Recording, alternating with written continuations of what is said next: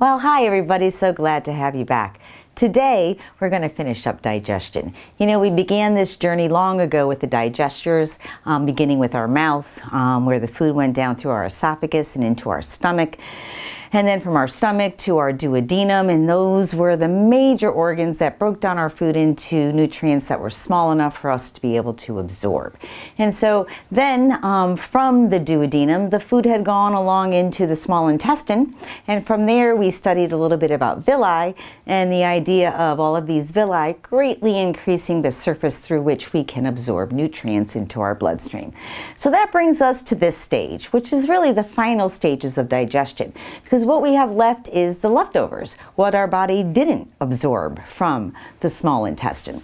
And so what begins as a liquid coming out of the small intestine right here will come around through this entire large intestine, which kind of takes this square loop around the small intestine. And as it goes through here, it will begin to lose more and more water. And that water is for us, it is our hydration. So it's important for us to gain the water out of the food and drink that we put in our bodies. So, to give us a little bit more information about this, we're going to send it over to Dr. Seeless, okay? Be right back. Ew, hello. Ew, I can't believe they've got me working in a place like this. This is just not right. Not right at all. Oh, hello. How long have you been there? So, welcome. It's Dr. Silas. Welcome to the large intestine. Well, today we're going to learn a little bit about the difference between how the waste comes into the large intestine compared to how the waste goes out of the large intestine.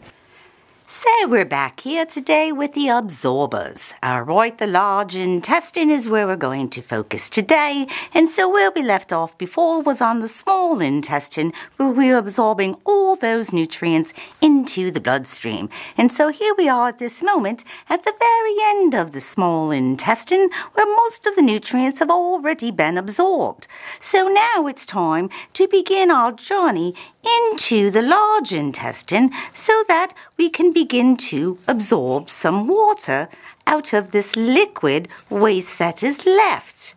And so, therefore, by doing this, not only will we gain water, but we're also going to learn later in this lesson a little bit about the good bacteria that live in our large intestine that help us digest food and absorb even more out of this waste. And so let's see if I can get this to go all the way through and get it to come out the other end. One moment. So therefore, the liquid leftovers ever so slowly progress along the large intestine as the water is being absorbed into the bloodstream for our body to use. So as the waste approaches the end of the large intestine, it is now a semi-solid waste often called feces, that will work its way over to the rectum where it will be stored when it is time to be expelled from the body through the anus to make its way to the world. So, therefore, that is the story of how food began in the mouth, moved through the esophagus, the stomach, the small intestine, the large intestine, and now is finished up in the rectum, ready to make its way into the world through the anus. So, let's take it on back. Mmm, mmm, mmm. What a lovely, scrumptious treat my large intestine has made. Would you like some too? No? Are you sure? I have some extra right here. No? Well then, just more for me. It's time for me to go anyway. Which way is out? Should I be going that way? I'll give it a try. Bye-bye.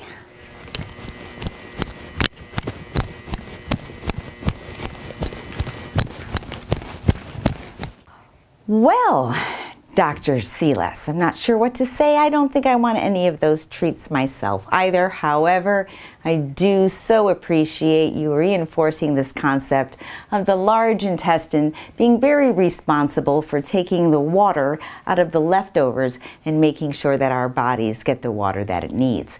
And so one other lesson that I want us to also look at here with the large intestine is this concept of good bacteria. You might have heard of that before with things called probiotics. And so the article that you guys are about to read goes into what good bacteria are and kind of this relationship that we have with them. We do something for them and they do something for us. And so even though it seems a little anti our logic, um, there are bacteria out there that are actually our friends. And so many of those that live, the billions of those that live in our large intestine, are certainly our friends. All right, so at this point, you guys, you're just going to go back into the document. You're going to see the link that takes you to that article.